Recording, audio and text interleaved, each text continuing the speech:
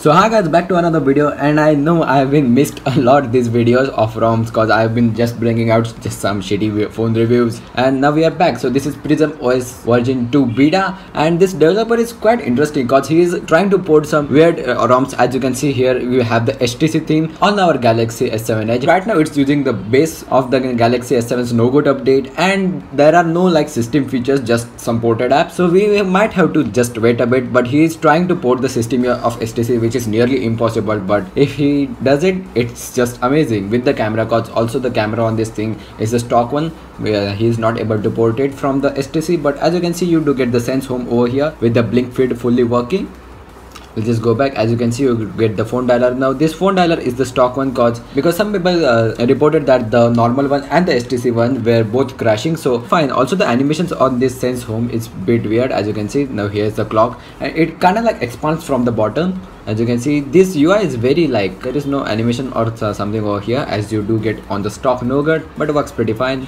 You get the messages. You see also you get the HTC keyboard over here. Very nice work. Then you get the contacts. Okay some apps just crash calendar allow there you go calendar fully work. As you can see htc app cloud is also working. Get the apps you love there you go there these are the most popular apps. Works nice and actually looks very beautiful on our curve screen over here. Then you get the gallery doesn't work right now. So the developer didn't remove our original app. They are still here and the htc and he will keep it updating. Here you get the themes. I've not uh, installed any themes over here but also the version that the developer has got the camera working so that is good. As you can see you get some like is theme over here some black theme. Let's just take a you get the music app fully working. Yep. And this flat theme quite actually looks nice on our galaxy s7 edge. You get the flashlight just a normal flashlight.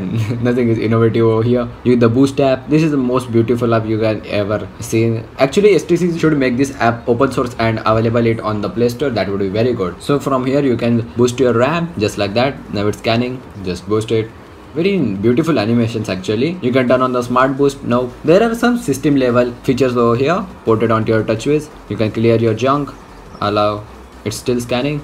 It gives you like a beautiful graph over here at the top. As you can see i have app installers as the maximum junk in my phone. You also get the HTC file manager. Quite nice. Force closes sometimes but still for early betas it's good. With the photo editor. You also have the scribble over here. It's just like the samsung notes of the note 7 you get the voice recorder works just fine. It's just a plain voice recorder nothing new over here. In the weather you can add your city so add mine. Alibag maharashtra there you go. Gives you a nice little graph over here. Nothing fancy but you do get some animations down over here. Now let's just get to the installer of this uh, rom. And it's one of the most biggest rom even though it's uh, debloated but this rom weighs over 2.1 gigs. I don't know where the space has gone. Next.